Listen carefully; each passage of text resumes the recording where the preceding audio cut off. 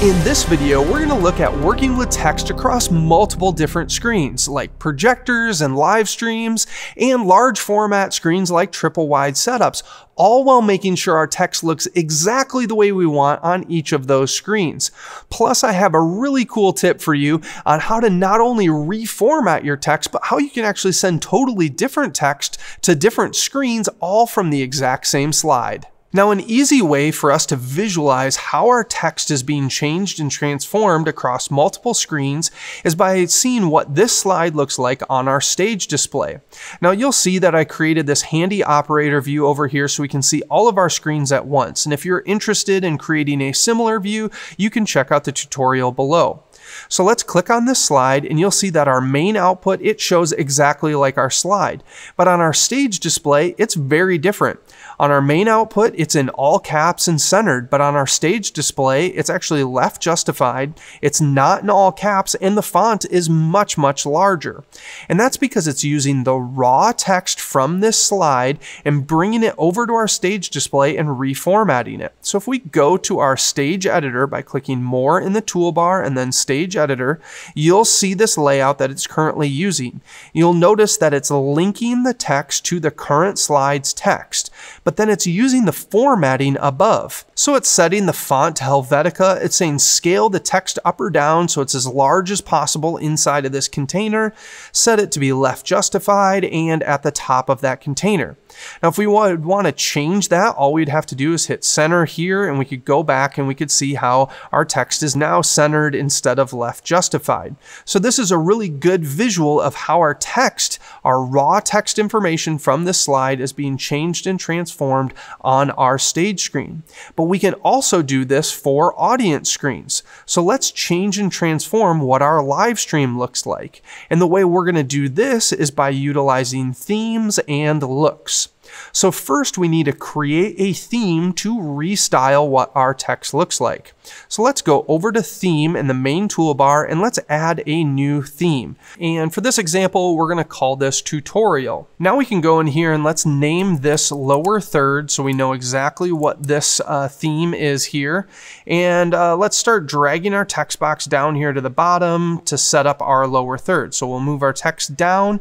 We could maybe change our font to be like bold and we could set the size to be like 80 and maybe we want this to be all caps so we'll set all caps by clicking the gear icon and maybe we want our character spacing to be a little bit more we'll set it to 4 just because it's in all caps and that will look a little bit nicer and then we could add like a stroke and a drop shadow just so our text stands out a little bit better.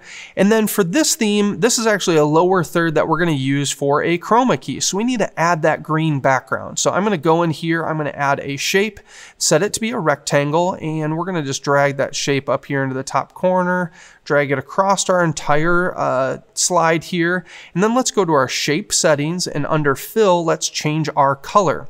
I'm going to switch this to be our RGB sliders. I'm going to turn red all the way down, green all the way up, and blue all the way down. So we have this nice green background.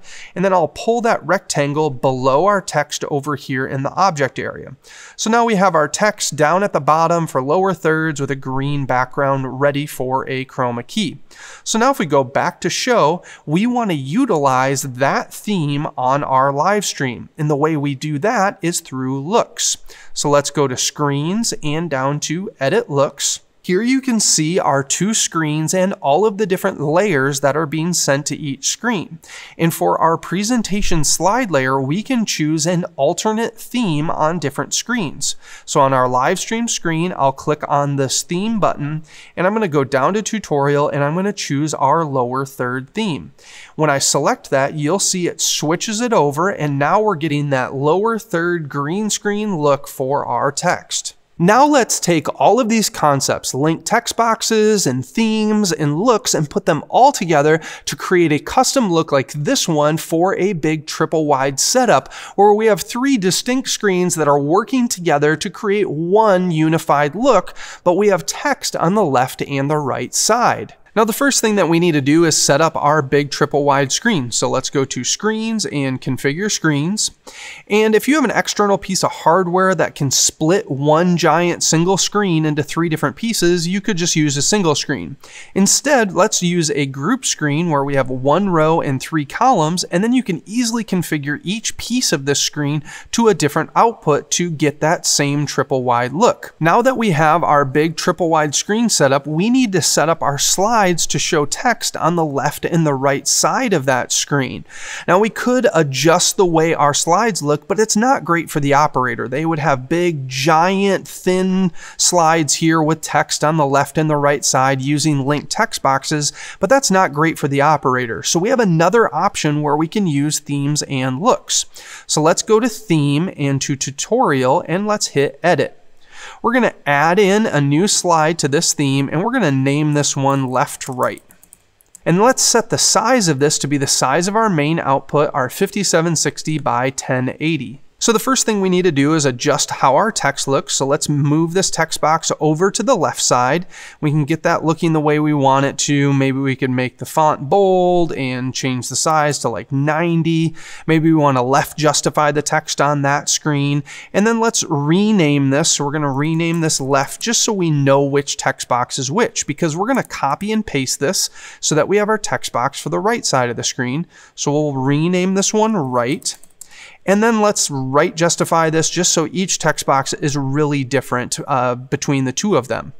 Now I talked about linked text boxes. And so we're going to actually link this text box to this one. And the way we do that is by choosing linked text and we're going to choose the source of this to be a slide object called left. So that text box that we named left earlier. So now this text box is getting its text from this one. So if I go in here and type hello, you'll see that it shows up in this text box, but the justification is different. And that's because this one has different formatting. If we took bold off, this one would be not bold and this one would be bold. So you can adjust each text box to be whatever way you want, but it's using the same text data for both of them. So now we can go back to show, and now we need to assign that theme to show on our big multi-screen. So we'll go back to screens and do this via looks. So we'll click on edit looks, and now we can set our main output to utilize that new left-right theme. So I'm going to tutorial and to left-right and selecting it for this screen. So I'm going to save this and make sure that that saves and goes live. And so now our main output is going to use that left right theme and our live stream is going to use our lower third green screen theme. So now when I click on some text here, you'll see that our text is showing on the left and the right side of that screen. Now the reason it's taking this one single piece of text and showing it on both sides of the screen is because of our linked text box.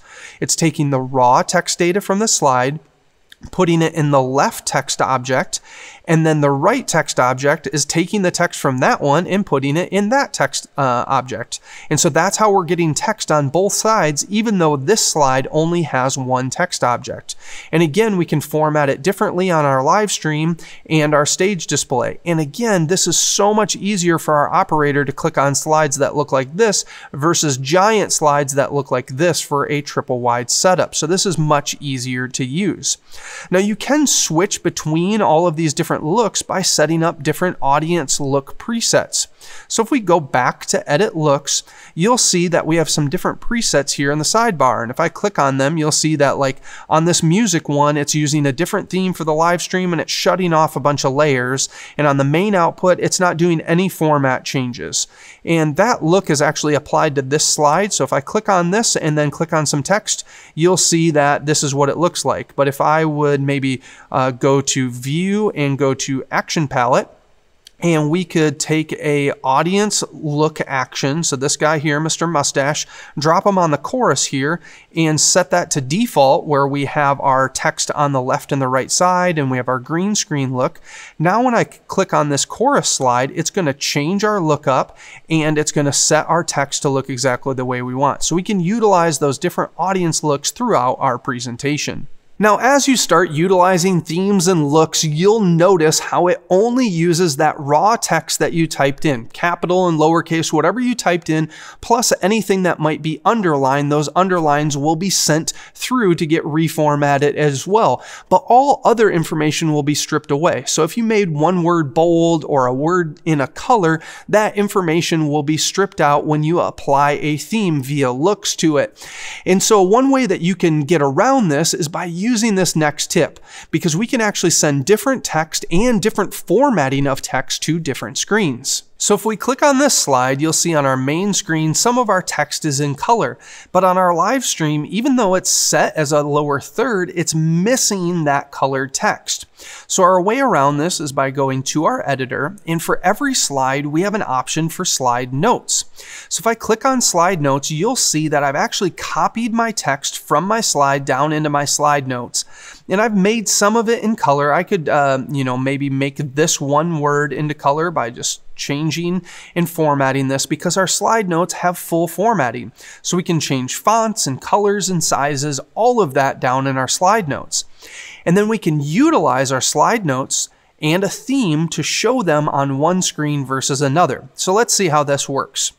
So let's go to theme and we're going to go down to notes and this is where I created that slide note. So we'll edit this theme and you'll see here we have a few different text boxes.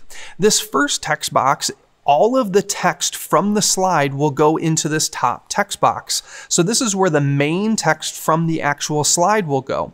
And so I've gone and I've set some visibility for this saying that uh, if any of the conditions are met, so if the text does not have text, then show this text box.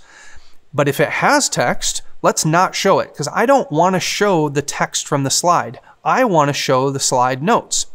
So this basically makes it so the text from the slide never shows in this theme. And then our reference is shown right here. And then down here at the bottom, we want to show our slide notes. Currently, if we go to text into link text, it's bringing in the current slide text. Instead, I want to bring in the current slide notes.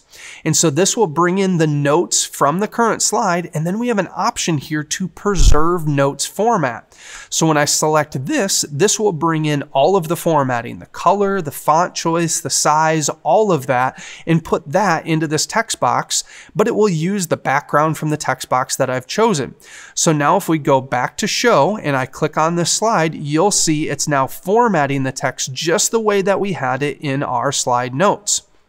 Now we can take this one step further by using this for a song. So if I go back to this song and then let's go to the editor and here you'll see that my slides are set up with two lines of text on the slide and four lines of text in the slide notes. And my slide notes only change every other slide. So this is a really nice way to be able to do two lines on one screen and four lines on another.